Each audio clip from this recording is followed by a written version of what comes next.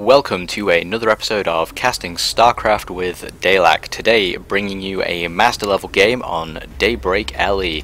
In the purple shorts as Terran, we have Danisgodz, and in the orange shorts as Protoss, we have TSI's Krallman. Krallman, a member of Team StarCraft 2 Improve, known for helping lower level players try and uh, improve their gameplay in a, a friendly environment and uh, they often frequently do small tournaments. Krallman himself from Sweden, but both of these players master level on the EU realm, duking it out today on Daybreak.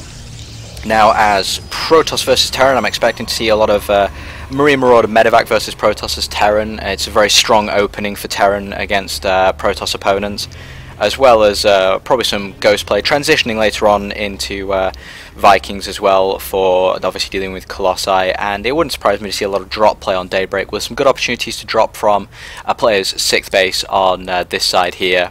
Uh, due to the short distance and the free space around the bottom of each of the bases. As for Protoss uh, against Terran, uh, it's probably going to be a case of Blink Stalker and Colossus into Templar Archon. Daybreak being actually a, a fantastic map, very makes for good, very intense battles with some fantastically well balanced for, for both races with the open areas that Terran will want for the, the concaves in the middle sections as well as the tighter chokes that Protoss will want. Of course, knocking down these destructible rocks very important for Terran against Protoss on this map, as they need the uh, the quicker reinforcement route. And uh, control of the Xel'Naga watchtowers also being very important for uh, attack and defense here, as they cover such a huge chunk of this map. Though they do still leave the um, middle sections of the map around here available for stealthy go-bys.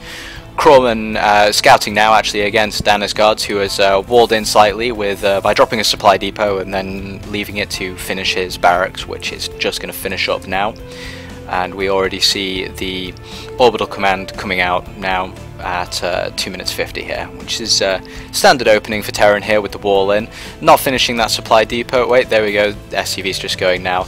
And uh, Danisgodz own SCV heading off to try and get what information he can from Krallman's base who actually appears to have left his probe by the Xel'Naga watchtower, providing huge amounts of vision to see if uh, any early attacks from uh, Terran are incoming. Looks like Danisgodz here actually wanting to play for a, a fast expand build versus Protoss, and uh, Cybernetics Core already coming down for, for Krallman with a bit of a, a fast gas there, looking obviously to go for early Stalker play, maybe even into uh, Blink Stalkers pretty quickly. In fact, we already see the first Stalker now uh, being chrono boosted out, and that SCV is going to see this and going to try and perhaps deny the early Nexus there, and looks like a little bit of a tussle, throwing down a supply depot to block this. I actually like this choice by Godz here to deny the Nexus of uh, for a little bit longer, while building up his own uh, economy at his own side, with uh, obviously his own command center being halfway done now with a bunker thrown down at the front for protection against those early Protoss pushes, trying to bring that SCV back now and getting the cancel on that. So Krallman's expansion here delayed by uh, a minute or so, which will have a bit of an effect on his economy. It's difficult to say whether or not that will have such a huge effect early on depending on how his own uh, harassment goes, especially with the new oracles now available for Protoss with the mothership core that have the potential to cause quite a lot of damage to Terran. In fact, the Mothership Core just coming out now for Krallman, and uh, that can be used not only for defense but a little bit of early harass. And if he goes for Oracle play, then we might see some uh, excellent worker harass coming off here as well. Additional barracks being finished now for uh, Danisgodz and immediately getting a Tech Lab add-on on one of them for those uh, Marauders and uh, a Stalker here sitting at the front of the base to uh, see what's going on there. Bunker, of course, means he's not going to be able to get any uh, harass off at this particular point in time. Um, but it will be nice to see. But he does actually have his mothership core coming over. I actually kind of like this choice. It's a very useful unit for harass early on, though not many people uh, I've seen use it in that way, preferring instead to use the oracles for harass. But the mothership core actually has quite a chunk of damage, but it'll be important not to lose it to these uh, marines here. And he does use it as an opportunity to get some scouting information, seeing that uh, Danisgodz has taken both of his gas, so can determine that he's going the standard bio play here, most likely known for uh, playing against uh, Protoss. So Marine Marauder Medivac with Stim already on the way. In fact, we should see the factory being built there, and as soon as that's finished, we'll see a starport coming out. And the first Marauder already down for Danisgodz. Looking now here, got the robotics facility on the way. Chroma moving into that Colossus gameplay, which will be uh, so important against that bio army. Though Templar is also uh, a very good choice, especially with the uh, Psionic Storm ability and uh, the available splash damage. And the robotics bay there as well. Currently getting out his uh, observers to uh, try and find out what his opponent's doing, and keeping his forces, pulling them back slightly. Though he's not elected to take his own Xel'Naga Watchtower, I think that's feel like that's a little bit of a, a mistake there. As uh, with Terran drop potential here, as the starport finishes up, could be uh, could be pretty huge. But we do see a, a probe going out now to uh, take that, and already upgrades for both of them on the way. Plus one weapons for Terran and plus one ground armor for Protoss. Interesting to note that split actually, with plus one ground weapons being very important for Terran, as they're mostly ranged, and the idea being that you try and kite your opponents as much as possible. Whereas uh, for Protoss, having the armor against Terran is going to be much more important. And we do see the Observer now heading across to Danisgodz base, trying to uh, keep an eye on just what's going on at his opponent's side. We do see actually one gas down there, and uh, second gas being taken for Protoss. Colossus being quite gas heavy, so it was not going to surprise me to see if he uh, chrono boosts out this Colossus. In fact, that is exactly what he's going for now, and uh, that will hopefully help shut down some of the potential damage from this first potential push uh, from at which uh, I'm expecting to see head out at about the 10 minute mark. It's usually the standard attack timing for Terran here, about the uh, 10 minute mark, as you can expect plus 1 to be finishing, Stim to uh, be just about finished, Combat Shield to be well on the way. And of course the uh, first two medivacs are usually out just in time for uh, a 10 minute push out. Though we could see this as either a drop or a, straight push in through the front door. Though obviously Krallman having going to have some uh, sentries in his force, which means he can potentially force field off uh, the ramp here, provided that he sees the incoming force, which he does know about thanks to this probe at the Xel'Naga Watchtower. And we're already seeing extended thermal lance being researched now. Danisgodz actually electing to split his forces. I don't know whether that's just due to pathing or simply a mistake on his behalf there. Uh, but the second probe here is going to see both the forces incoming around the side, stimming in one marine to take that out. Of course, with the observer there, Krallman is well aware of what's going on, has pulled his army forwards here, ready to force field out if need be, but he best be careful not to lose that Stalker. It's on its own. That could have been a worthwhile mistake there from uh, Krallman if it had been caught by those Marauders. Uh, though Concussive Shell isn't actually finished yet, that's an interesting choice. It's usually needed against Protoss to be able to kite those uh, Stalkers around with Marauders, otherwise they're just simply too quick. But we do see more barracks being thrown down now, and uh, Danisgodz actually electing to expand again, uh, having pushed out with this force, though he's now retreating uh, Krallman actually moving some stalkers into position just in case of that drop play, and does have an observer there between the 6th and his main to see if any uh, potential drops are incoming. Also expanding to a uh, a third here, though the Marine scouting that very quickly will be taken out by the Stalker in short order, but he does now have the potential to hit the third, as he does know that it's there. But we, I do see a proxy pylon up here from Krallman, so we could see some uh, proxy play here. Oh, and two loaded dropships heading out now. Could see the beginnings of a first drop against the base. It will be scouted by the observer, though, that's here hovering right there, so Krallman should be have more than enough time to react to this. And we'll be able to uh, stop that in short order. In fact, we see a photon cannon trying to come down now. Uh, photon overcharge going down on the Nexus to uh, help do some damage there. Time warp slowing down that unit's DPS. That's a huge force there. He does try and pick up and does manage to get away with one medivac full of uh, units, leaving it hovering over there. It's a very costly attack there for Danisgodz, not actually able to inflict too much damage, but losing one entire medivac full of units, and the medivac as well. Very expensive mistake, but attempting here to re-drop now. Uh, if he can pick off that pylon, that could have some ramifications for Krallman, but he is moving in now to uh, to deal with that. If Danisgodz isn't paying attention though, he's going to lose this force. Medivac goes down, and that drop is going to be terminated in short order by Krallman, having done almost no damage to any of uh, his opponents. Uh, to Den uh, Danisgodz having done no damage to any of his opponent's tech structures here.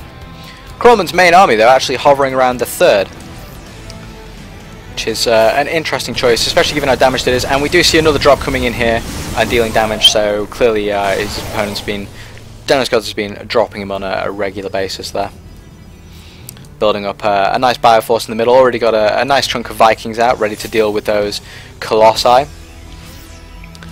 Sending some scouting Marines off here. And I do see Psionic Storm coming down from Krallman. That's actually a, a very worthwhile choice, uh, given his opponent's mostly biocomposition, the potential for Colossus and Storm, that splash damage being very strong against uh, bio-style gameplay, and can inflict maximum amount of damage unless Godz is really on the ball with the splits. And if nothing else, the Templars being able to feed back Medivacs to instantly take them out of the fight is uh, a very, very known tactic for uh, Protoss as it cuts out Terran's ability to stim without obviously uh, saving themselves from all that damage that can be thrown out.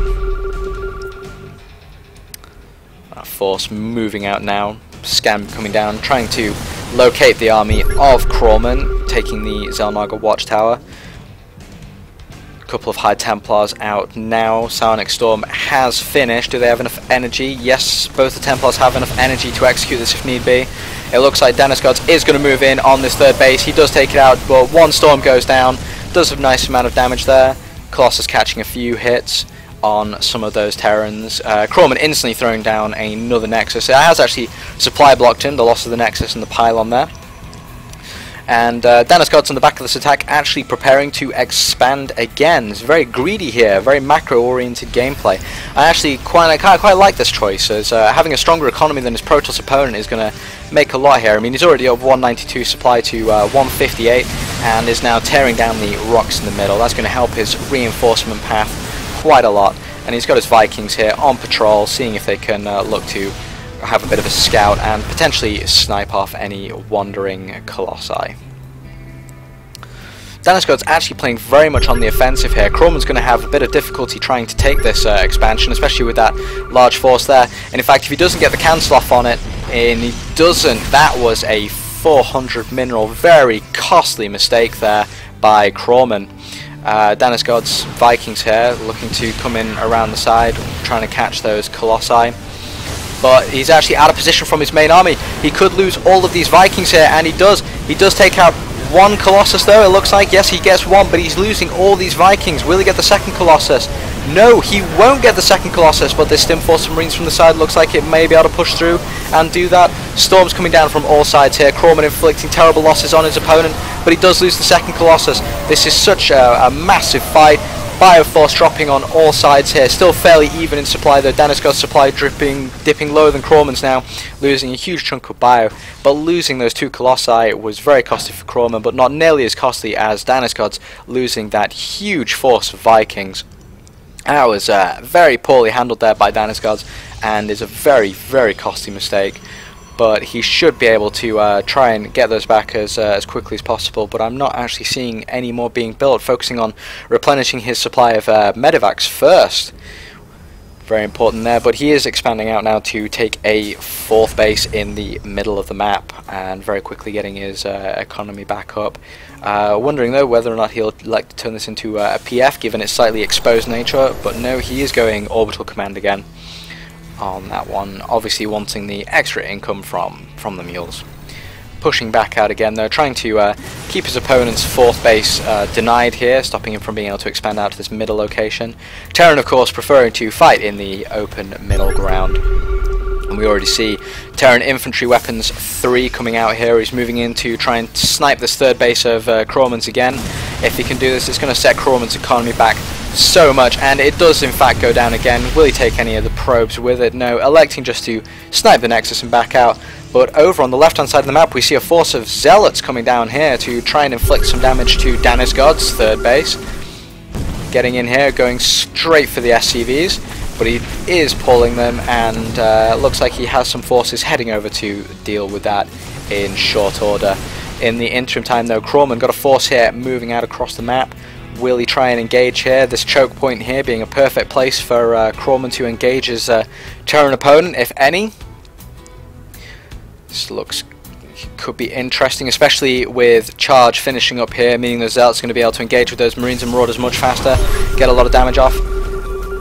Scan goes down though, Danisgodz now more than aware that that force is incoming, but Krallman using this as an opportunity to set up this fourth base, and once again trying to retake that third.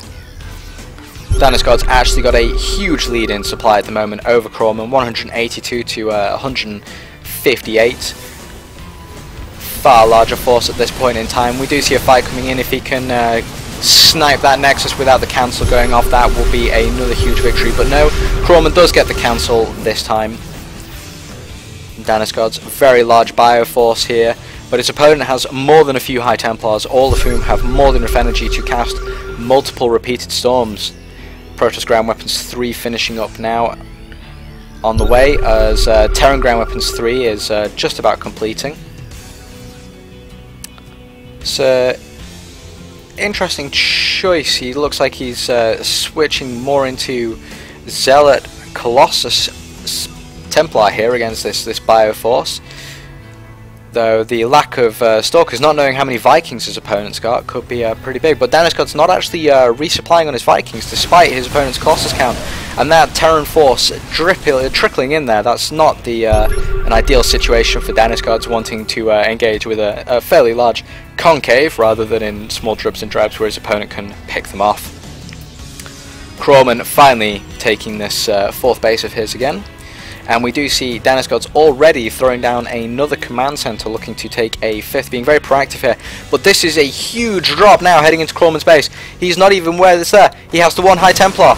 It runs, it gets off one storm though, doesn't do enough damage though.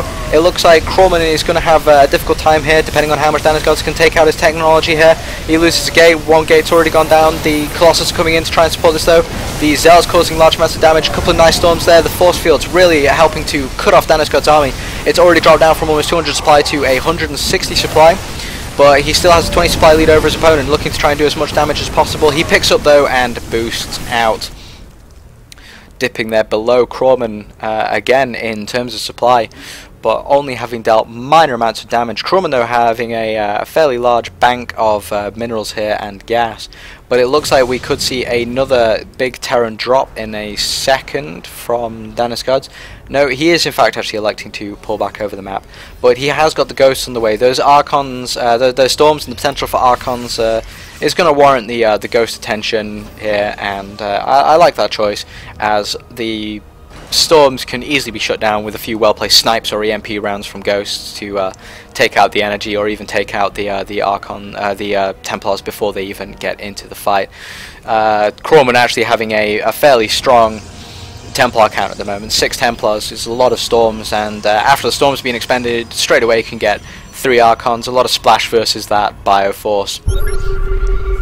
The only three Vikings for Danisgodz at this point though is uh, going to be very difficult against those Colossus, especially with the number of Stalkers if Krallman is able to uh, micro his uh, Stalkers into hitting the, the Vikings before they can deal substantial damage to his opponent's Colossi. We already see a couple of Archons being added into the, the mix now. Both these players still on uh, fairly even supply. Danisgodz holding the centre of the map on his side uh, quite happily, Krallman's bio, uh, Krallman's uh, Protoss Ball, uh, all nice and happy guarding his fourth base, and both players now taking fifth bases. Danisgodz already set up and ready to go though, just going to bring some workers over, probably even start muling there, whereas uh, Krallman's going to have to wait for this to finish, finish up.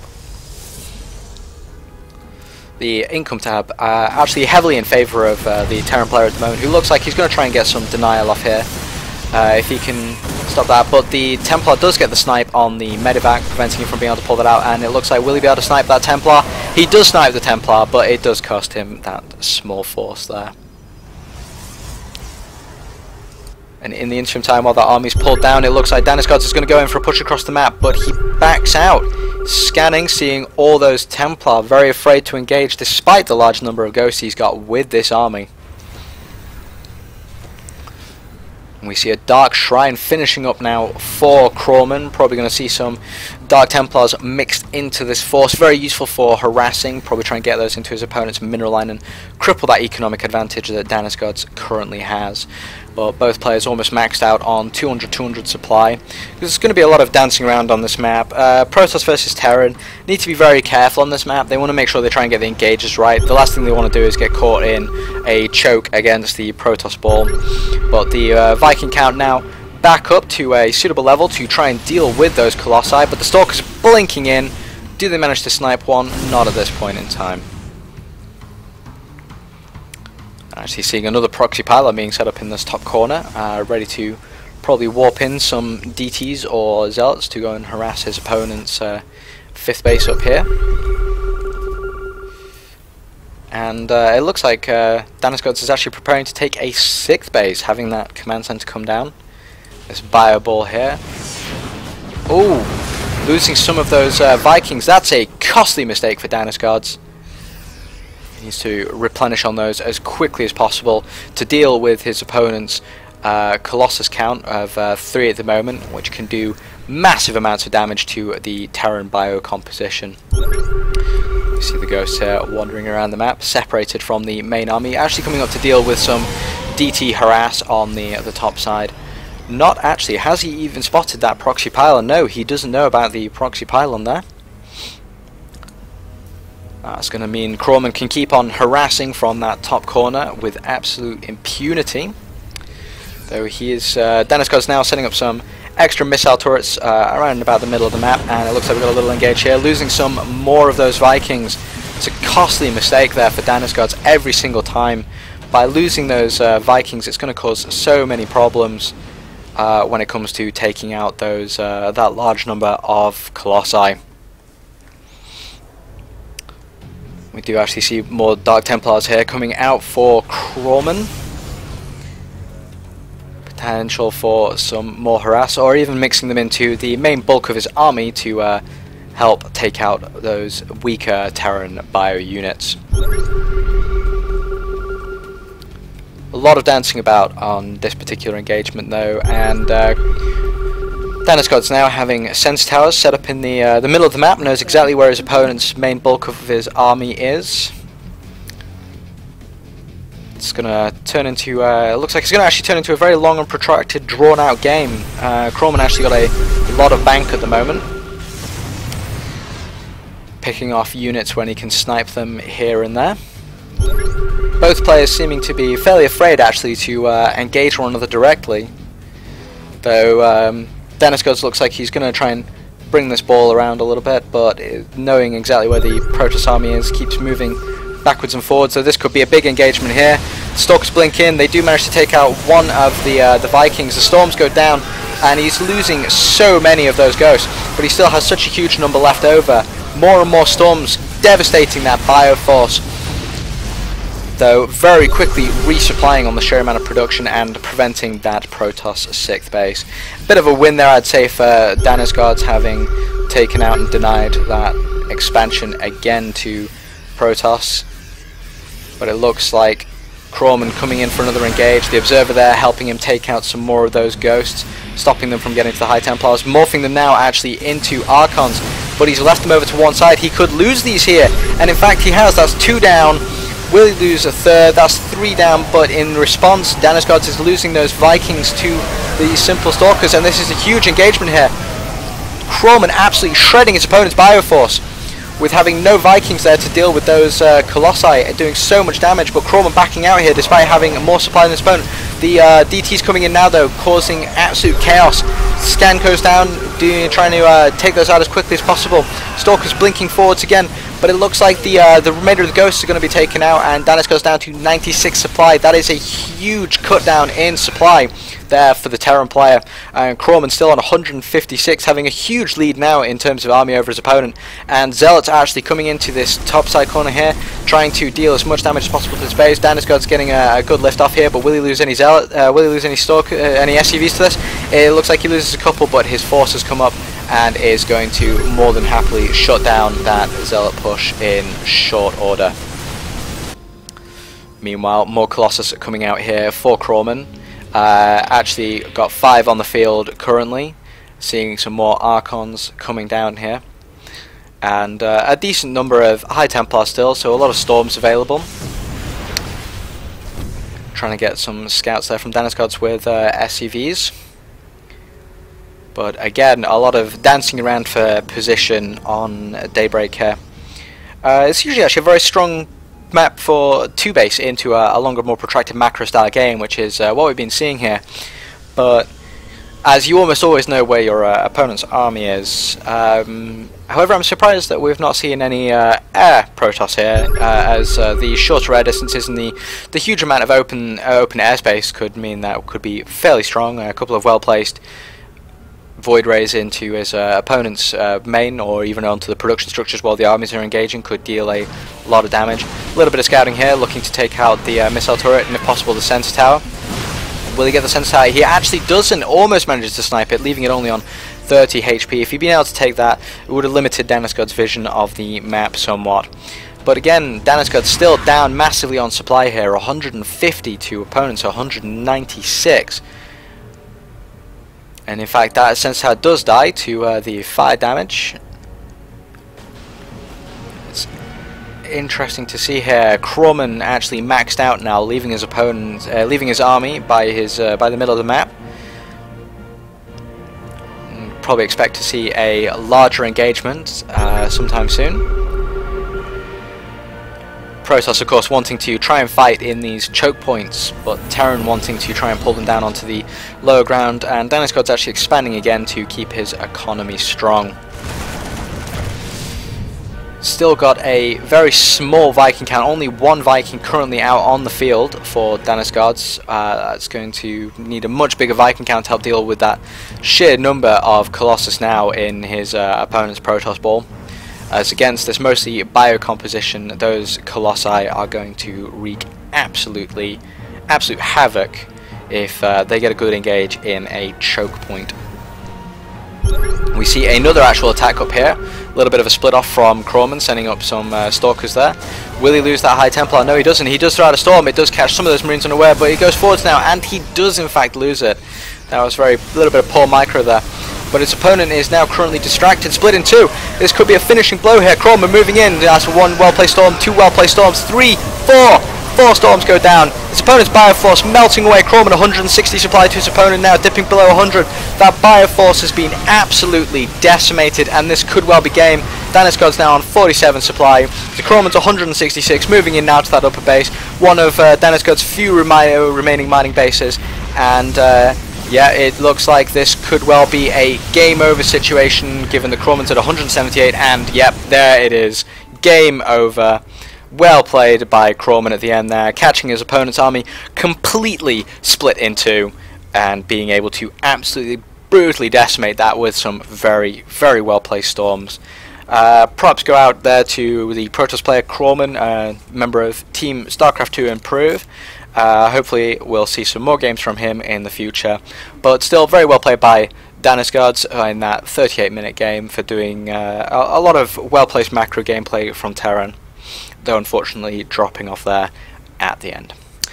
That has been another episode of Casting StarCraft 2 with Daelach. Hopefully that was an enjoyable one for you, and uh, I look forward to bringing you some more games in the near future. But for now, uh, enjoy the rest of your day, and goodbye.